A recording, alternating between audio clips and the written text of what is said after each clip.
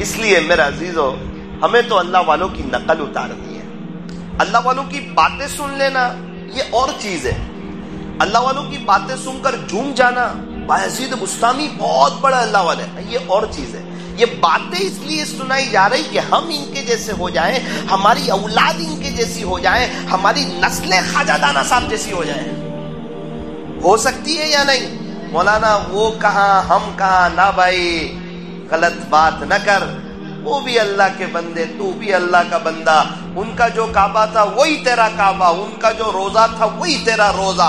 उनके पास जो कुरान था, वही तेरे पास है। उनके पास जो हदीस शरीफ थी, वही तेरे पास है। वो भी एक माँ से तू भी एक माँ से वो भी अल्लाह की ज़मीन पे चलते थे, तू भी अल्लाह की ज़मीन पे चलता है। लेकिन वो गुनाहों से बचते थे और अल्लाह के हुक्मों पर चलते थे, तू भी उनकी तरह गुनाहों से बच और अल्लाह के हुक्मों पर चल। हर वक्त अल्लाह की याद में रहे, अल्लाह के ज़िक्र में रहे। तू तहजुद पढ़ी शराब पढ़ चाश पढ़ अवाबीन पढ़। जिस अल्लाह ने वक्त को दिया है, उस अल्लाह को वक्त देकर देख, तेरे भी अच्छे दिन आ जाएँगे।